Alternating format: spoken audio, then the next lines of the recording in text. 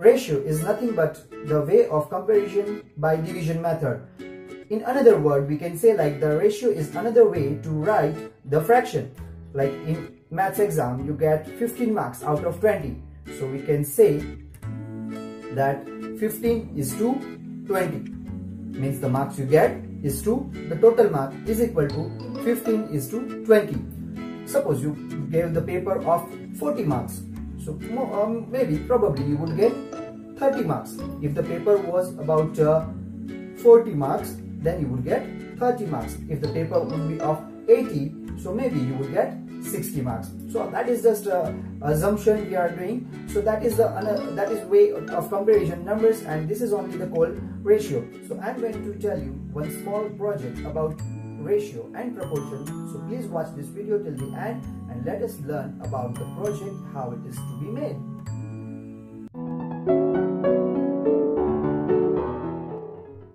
To make the ratio and proportion model, first of all make the table like this.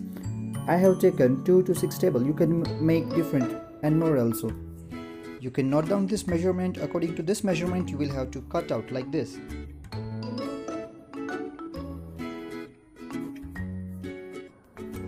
Now see, we'll just set the strips on thermocol sheet which is covered with black chart paper and uh, we'll put the cutouts like this.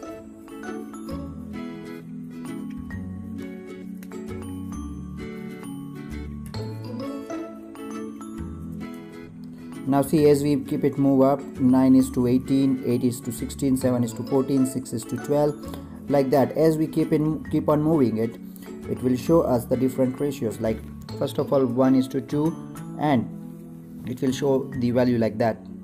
This shows 5 is to 10 hey hey hey wait.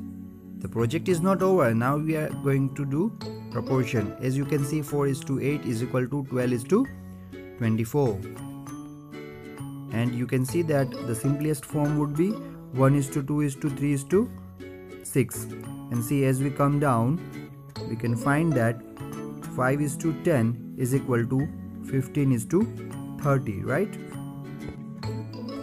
See we can see here that 6 is to 12 is equal to 18 is to 36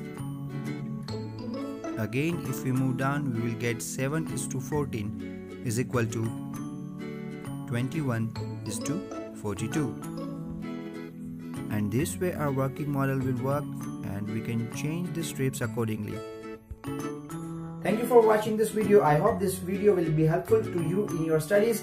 If you like this video, if you like my efforts, then please don't forget to like and share your views in the comment box below. And if you are a new visitor on this channel, then please subscribe because I come with this kind of videos Let's meet in another learning session. Till then, keep learning, keep growing.